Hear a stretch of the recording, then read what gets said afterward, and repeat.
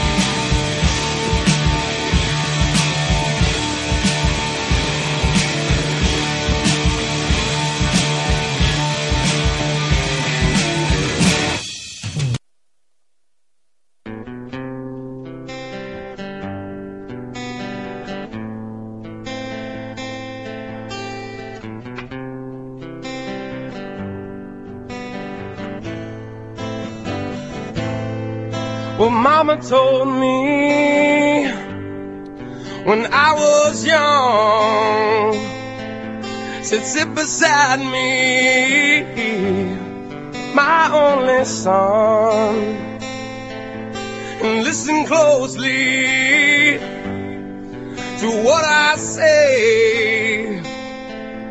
And if you do this, it'll help you some sunny day. I.